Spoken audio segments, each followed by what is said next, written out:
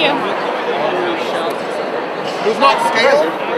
Nope. We are having our sixth annual Northwest Regional Championship. Over 130 athletes competing today. CrossFit started as a, uh, a garage gym movement, taking fitness back to the roots of just people learning to move well and put out high amounts of power. You're going to see some amazing movement. You're going to see people frustrated and angry and, and bitter. There's going to be a movement called a muscle up, which is a super, super beginning gymnastics move. People hang from a set of rings, pull themselves up, and press up to the top of a dip on the rings.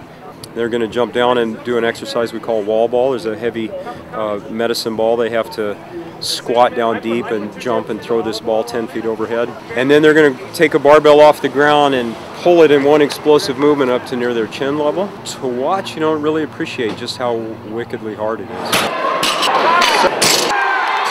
It's so varied and it's so challenging that you never get really good at all of it. So there's always something new to challenge yourself at.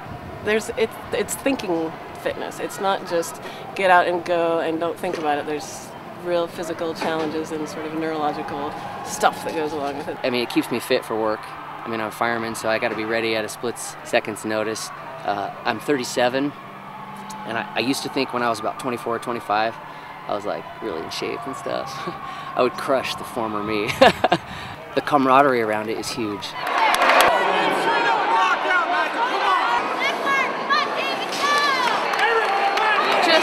Got sucked into the whole idea behind the, the competition and the camaraderie that comes along with CrossFit. We've described it as being in a cult. People just have your back no matter what level you're starting at.